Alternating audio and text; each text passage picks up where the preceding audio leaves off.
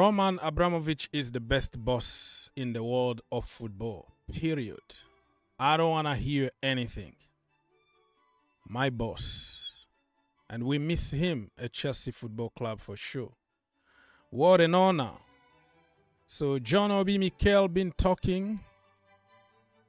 He actually got his own podcast at the moment. The Obi One podcast. Very, very good one. You have to check it on all the platforms, including YouTube. And he's been talking to Talk Sport, right? And man, it's very, very touchy. So John Obi Mikel, my dad got kidnapped while I was playing for Nigeria at uh, the 2018 World Cup in Russia. Right? Because what people do is they kidnap your family back home because they know you have money and you're gonna send a lot of money for them to release your your family, right?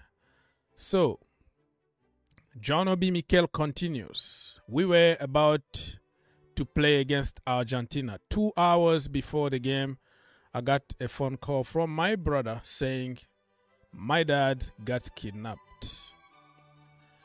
Wow. Two hours before you play for your nation, for Nigeria, right?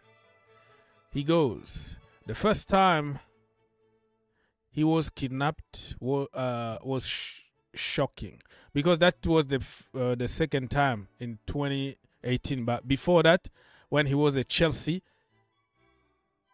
the dad was kidnapped again.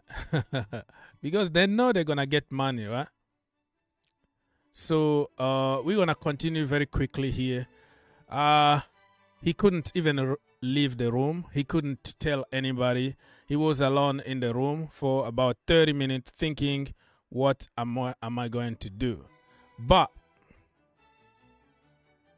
we are about to go into the biggest game of our lives. We are about to play against leo messi's argentina chelsea were very very supportive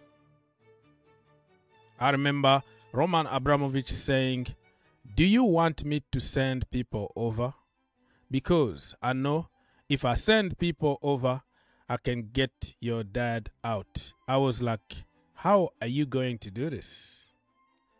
And he said, Roman Abramovich, don't worry about that. Just let me know if you want that option. I can do it. Four or five days later, John Obi Mikel's father was released and rescued by the police. What an honor. Roman Abramovich, very supportive. I still remember when Ivory Coast were in trouble, war, this uh, war over there, and he went, he flew his private jet with Jose Mourinho to support Didier Drogba in one of the games in Ivory Coast.